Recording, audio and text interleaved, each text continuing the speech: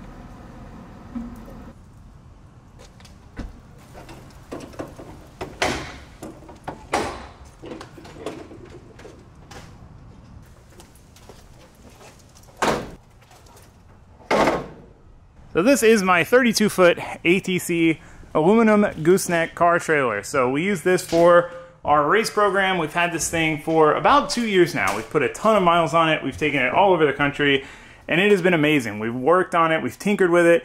We've refurbished things, we've upgraded things to make it kind of our ideal trailer for what we do, and you really only figure out that list of things by doing things over time. You know, the more we use the trailer, the more we find little nuanced things that we can improve and upgrade to make the trailer and the whole setup more efficient for us for race weekends. And we finally come to the end of that list. We just a couple weeks ago knocked out a bunch of upgrades. We added heavy duty batteries to help with being able to leave the lights on longer, not having to worry about that. We added some trailer TPMS sensors that interface directly with the truck so we know our trailer tire pressures at all times, along with this rear facing camera so we can see behind the trailer when we're backing up, and some extended ramps so that we don't have to take the bumper off the car to get it in the trailer. And now it's time to knock out the last few things to make this thing 100% exactly exactly what we want for what we do with it. So let me show you what we've got to go in this thing and what the plans are.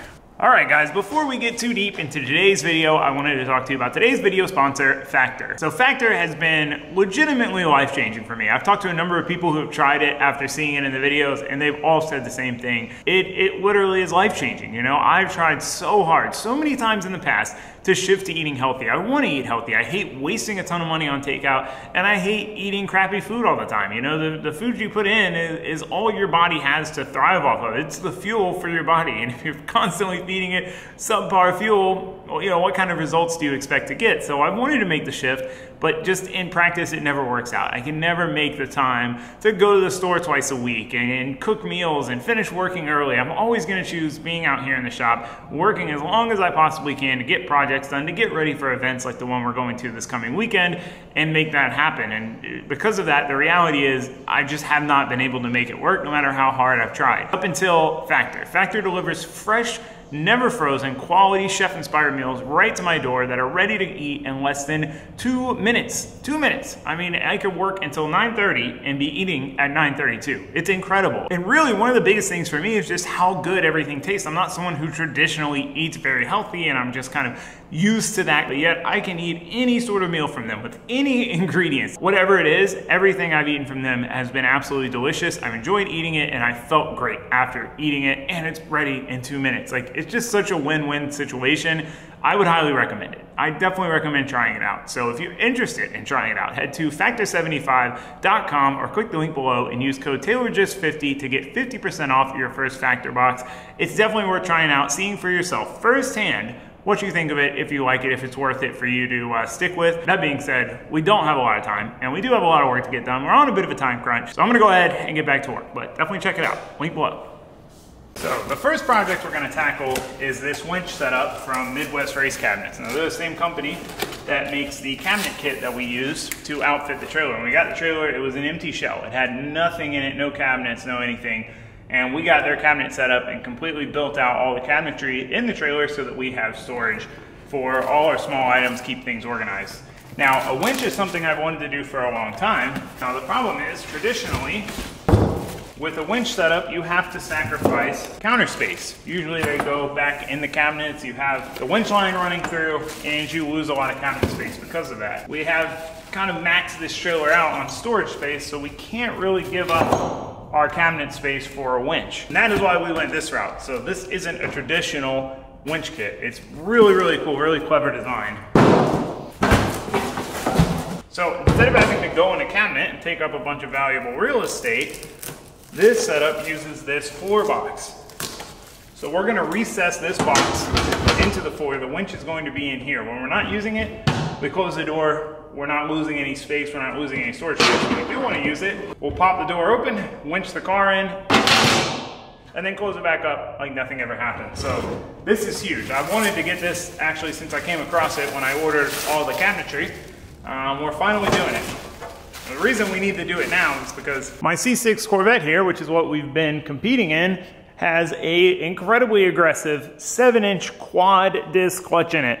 Now, if you know race cars and clutches, you know that is a very, very aggressive race only clutch. It is not meant to be driven in a casual manner. It's not really meant to be slipped. So it is really hard on it and a lot of the other drivetrain components to try to slip it while driving this car slowly up into the trailer. Not to mention the track width on this thing barely fits in between our fenders. So it's always a bit of a guessing game trying to ramp this thing in there. So winching it in is our best bet, but obviously to do that, we need a winch. So this should be a huge improvement for us since we load this car in and out every day when we're gone for a track weekend. That's a lot of wear and tear on the clutch for really no reason. So here's a look at the kit. So you can see this flips down out of the way when you're gonna winch, it flips up. So the winch line goes through there. Got our lid, got our winch with a synthetic rope. We've got a hard mounted switch if we want to use that, and we have a remote control, which obviously will most likely be using this because then I can winch myself in from inside the car and steer it in easy peasy. So this is gonna be huge. I've wanted this thing for a long, long time, and I'm glad we're finally getting to it. So that being said, the first thing we need to do is determine where we wanna mount the box and cut a giant hole in the floor to put it in. Let's get to it. All right, so we're debating where to put the box. The start of it needs to be on a beam. So our one beam is here, and our other beam is about right here. So we need to put the box here or back here. Now, the downside with putting it back here is the winch is going to be kind of all the way drawn in to get a car, a long car like the Vet in. It should still have enough room to pull it all the way in without it bottoming out. The downside with doing it up here is that A, we put an electric scooter there and we strap it down and we always put it in first because it's a pain to lift it up through the door. Uh, so then we wouldn't be able to access the winch box. B, we'll have to cut up that E-track there to fit the winch box, which we use the E-track to strap the scooter down. But C, really the biggest thing, is we come in and out of the trailer to get to the toolbox quite often. So we'd be stepping on that box anytime we come. This is the area we probably step in most in the trailer to get to all the cabinets. So then we're gonna be stepping on that box every single time we come in here. So we've decided on putting it here. There's sacrifices either direction, but this seems to make the most sense. So we need to figure out exactly where the beam is and go ahead and start getting our hole cut. We are gonna have to trim up this E-track, start drilling and cutting.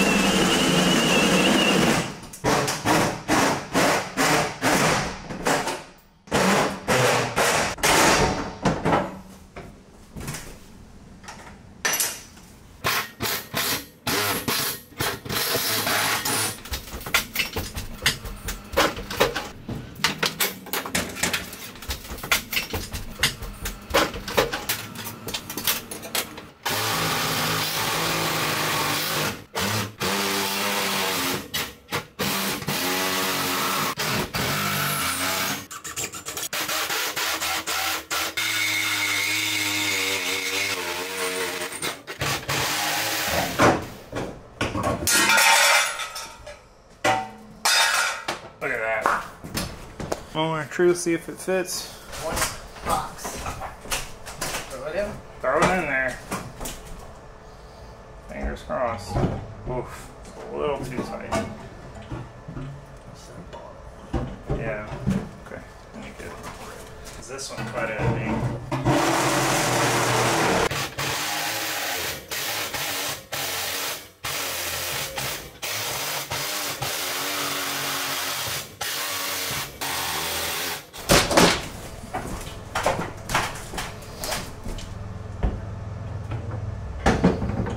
Beautiful. Look at that. Nice. wow, you just bring, put your footprints on it. Oh man. no, it looks nice. It's nice and square. Yeah, box is in.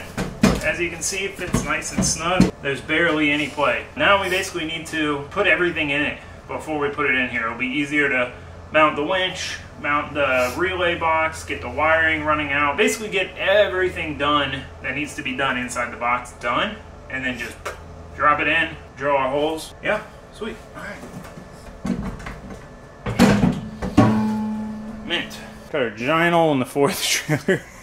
Weird feeling for sure, but A1. Let's uh let's go assemble this winch box. So our goal is to basically assemble anything and everything that is going to go in this winch box on the bench before we install the box in the trailer. You know, things like bolting the winch in are going to be a lot easier when we can access both sides instead of having to have one person under the trailer trying to feed the bolts in and the other person up top trying to hold and maneuver the winch around. So we decided we wanted all this to be self-contained, so we're going to mount the relay and everything in the box with the winch. That way everything's in one place roughly out of the weather. Everything is kind of self-contained in this one area. So we started running and routing the wiring. We do have a little more wiring length than we need since the relay is mounted so close to the winch, but I'd rather have a little too much than a little too little. So we test fitted the lid to make sure it was gonna fit with the relay in there and that we could secure it. Blue came by to uh, offer some emotional support and check in on the progress to make sure we were gonna be done in time for dinner. And then we went ahead and committed to mounting the relay as well as the remote receiver. Wanted to get it secured so it's not flopping around in there. And with that, uh, basically everything that needs to go in here is in here. So now we just need to drill our pilot holes. So since we're gonna be self-tappering this thing in, if you're self-tappering through two pieces of metal, it will screw into the first piece and basically just push it off the second piece. So if you wanna do that, you basically gotta drill these pilot holes so the screw can go through them and just drill into the piece you're trying to attach it to. Makes life a lot easier. All right, our winch box is officially complete, ready to go in the trailer. We got all our, our wiring done. We got our leads running out here which are gonna go to the battery. Pretty happy with how it came out. We've still got a little bit of room left over in this corner if we wanted to put, you know, an axle strap or whatever we might use with the winch in the box so it's all together. So all you gotta do is drop it in, screw it down. It's a nice piece. It is a nice piece. I'm, I'm happy with that. I can't wait to try it out. So anyway, if we wanna try it out, I gotta quit jibber jabbering. We gotta get this thing mounted in the trailer. So let's get to it.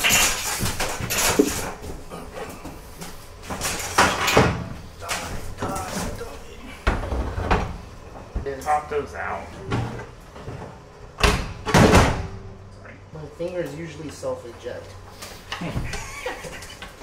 Don't look so good, dude. Yeah, no. Need the lid. I'll go grab the lid.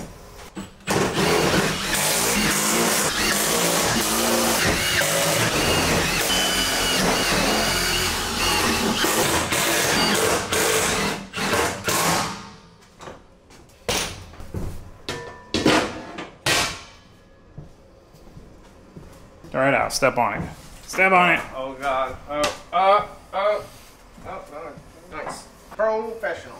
So I bought this trailer from a company that transported show motorcycles. So they had this E-Track installed before I got the trailer and they used it for basically mounting and strapping the motorcycles. Now I originally wanted to remove it. I didn't like it. I didn't think I would use it that much, but it turns out that we have used it quite a lot. It has actually been very handy. We can strap pretty much anything anywhere. So we want to retain as much of this as possible, but obviously we have to get rid of some of it to fit the box. So now that the box is installed, we've got the E-Track all trimmed up. We can put it back in and see how it all looks. And I've got to say, I'm not super happy with the way it looks with it just stopping and ending. So we decided to go ahead and basically cut the leftover pieces of E-Track that we cut out and notch them essentially around the box. Now, this doesn't do anything. They're not going to be usable, but aesthetically, I think it looks better. Beautiful. Beautiful. Now it just blends in. A1. Winch installed, except for the wiring. I still got to do the wiring tomorrow. Uh, but let me show you what the next thing we have is so we can at least eyeball how it's going to be to install before we call it a night. The next item on the agenda is arguably more important than the winch. This is something that we have needed and talked about getting pretty much the entire time I've had this trailer. And it's one of those things that we forget about it. And then when we're at the track, we think about it and we realize, oh man, I wish we had that. Remind me when we get back, I'll order one. And then I never ordered one until now. I finally ordered this and uh, it should be very, very helpful. Let me show you. That just jibber jabbering on about it. That's a nice box, actually. Mention. So we've always got eyes on the boxes.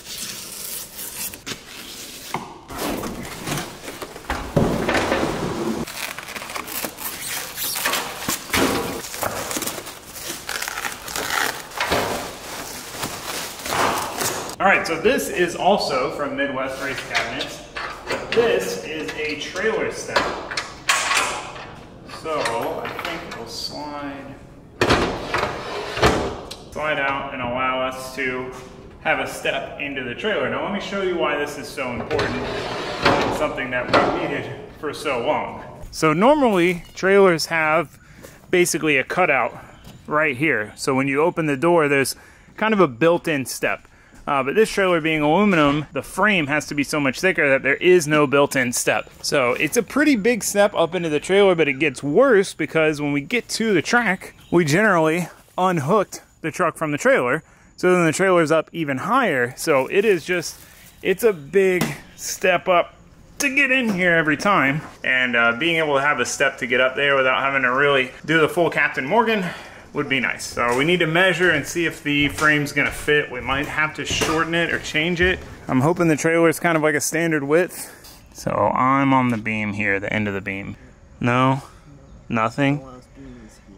Yeah, that's not gonna work without welding in a beam. Yeah, so that's would go to the, but then our step would be offset to the rear. All right, well, we'll uh, mull this over tonight and come up with a plan tomorrow. So the first thing I wanted to tackle the next day before Josue got there was wiring in the winch. I knew this wasn't going to be the most fun process scooting around underneath this trailer, so I wanted to get it done and knocked out so that the winch install was done and dusted. Now, unfortunately, the wires weren't long enough to reach our battery. It's a pretty long run from where the winch box is up to our battery, and we obviously want to keep it under the trailer so it's not an eyesore. So I had to basically put an extension wire on and then start securing it under the trailer. We want to do a good job here because otherwise this is one of those things that will come back to bite you later on when the wiring comes loose and it's flopping around and dragging on the ground. Trust me, I know I've made that mistake with trailer wiring. You gotta take your time. So I went ahead and pulled the cover panel for what is essentially the utility box of the trailer. This is where the jacks are, and we fortunately already have a hole going up right by the batteries for some other wiring we did on the last batch of upgrades. So I just had to route it through there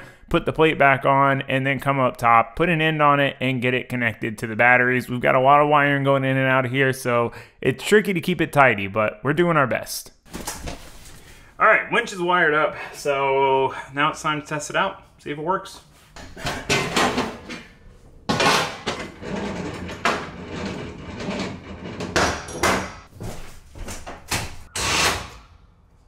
It works. Did that from like the shop door. Oh, I gotta lock it back in.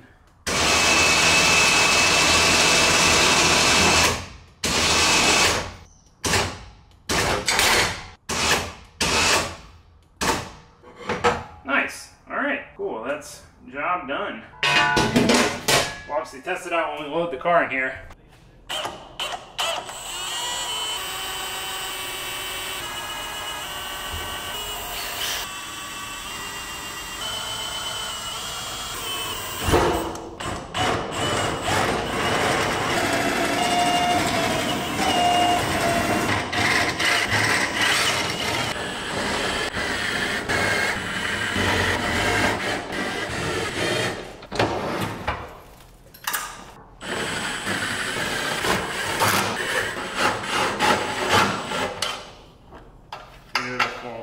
So we went ahead and put the trailer step on a jack and jacked it up into place. Now we had to make some compromises here, both with its location in general, but we don't have a second full beam to attach it to. So we're basically basing it off the first full beam and then using two different beams to attach the further side. Now it's not an ideal scenario, but I think it'll be plenty strong enough for what we're doing with it. It should hold up.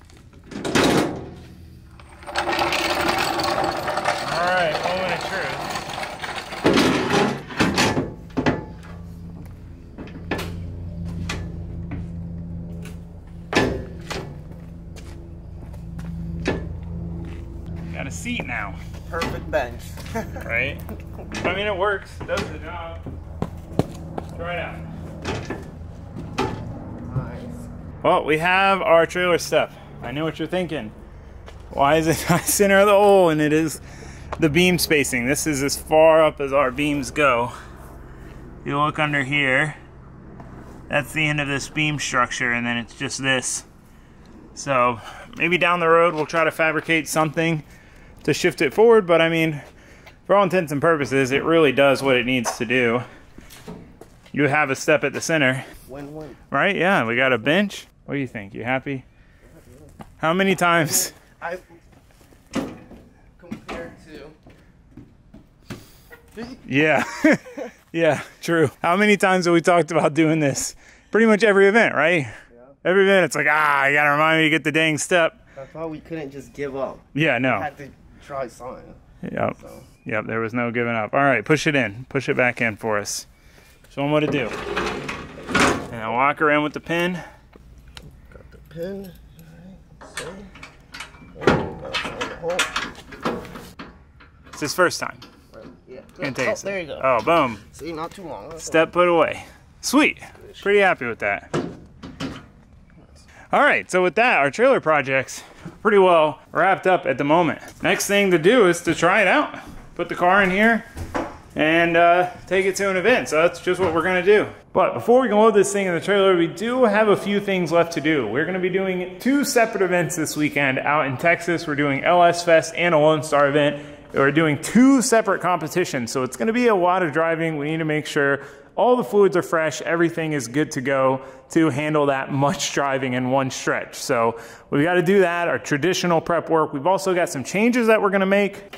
Uh, one being with the braking system, we're going to change out our handbrake cylinder size to try to tighten up the handbrake a little bit.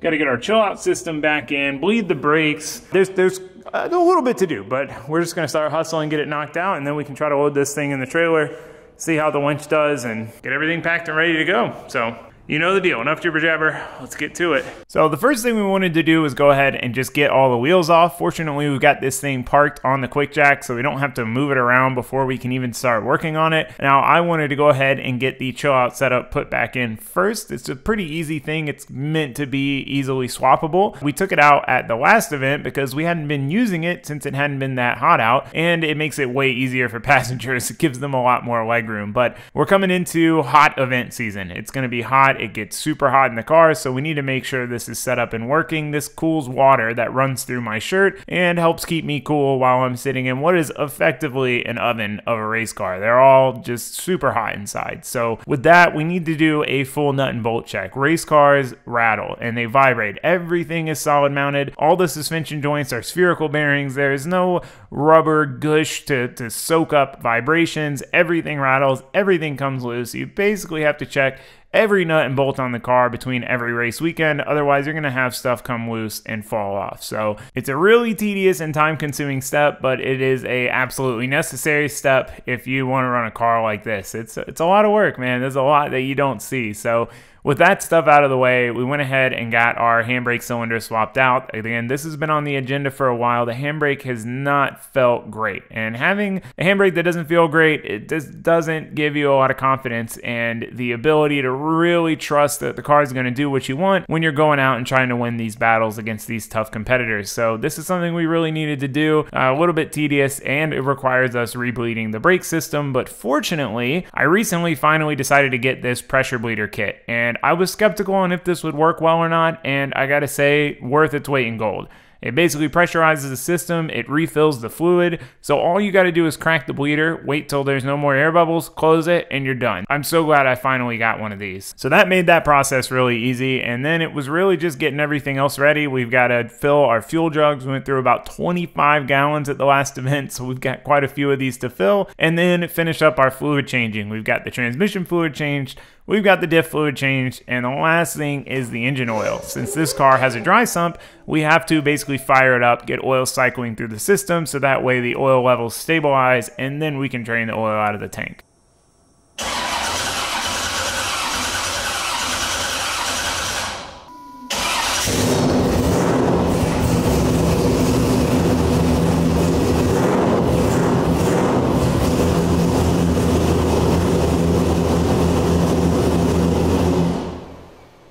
Right, well, we got our entire to-do list finished up. We've got all new fluids, fresh engine oil, fresh transmission fluid, and even a fresh diff fluid. Replaced all of it. So that's all sorted. And then we got our cylinder swapped out here. Very, very happy with this. So it being a little larger, we should have a little less throw, but we still have a good soft pull. So it should lock up really easily without a ton of effort, but also not bottom out like the other one was doing. This now feels great. Feels exactly like it should. So really happy with that. I wanted to make sure we got that done before this event because we are going to be entering between 110 and 120 miles an hour. It is a very fast track. It really just depends on how long they make the run up.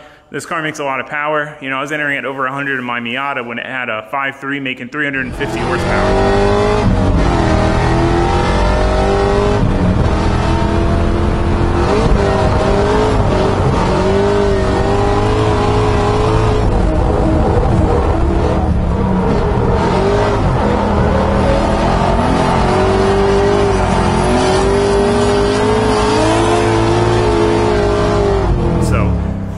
be going fast. when you're going fast, you want a handbrake that's going to work, not one that's hit or miss. It's, uh, it's not very confidence inspiring if you don't know what's going to happen when you pull it. So definitely need to get that done. But that being said, we need to drop this thing off. It's time to uh, test the trailer out and uh, see how everything works, all the upgrades. We haven't even tested the ramps out since we did those, so we'll see if we have to take the bumper off. There's a lot of unknowns. This is the first time loading this thing up since all the upgrades. Yeah, so first things first, we gotta get our tires packed up top. So let's get to it.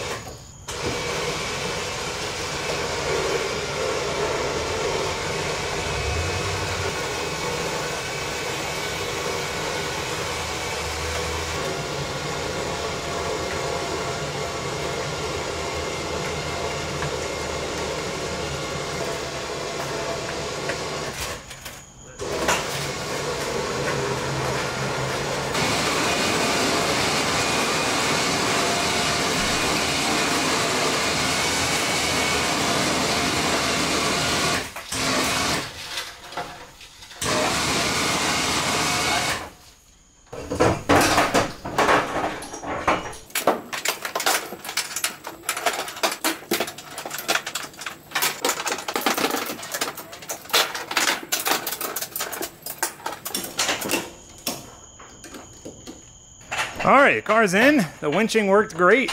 Uh, we also got these new straps last time. Something I've been meaning to do for a while. They use the E-track and go over the tire. Uh, this is the way to do it. If you can strap your car over the tire, they don't come loose. When we strap to the chassis, we always have to check them every every stop, and they're usually a little loose. But with these, we checked them every stop on a long drive, and they stayed tight the whole time.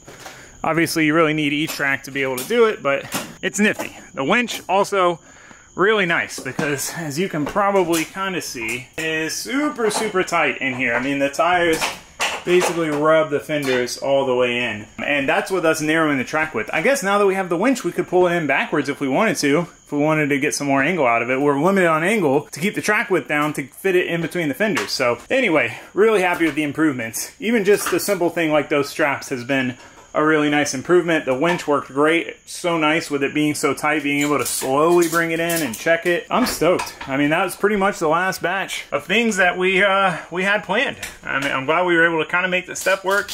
Really, all that I might want to do still is add a solar panel, but uh, feels good. This is stuff that we've had kind of on our mind and wanted to do for quite a while now, and right, perfect timing right before race season. So that being said, I'm tired, I'm sweaty, it's hot we're going to call it a night. We're going to go in here. Let me know what you guys think of the trailer upgrades, and uh, yeah, that's pretty much it. So, thanks for watching. Thanks for subscribing. I hope to see you next time. It's going to be some fast, good driving. You should check it out. Give it a shot. But anyway, goodbye.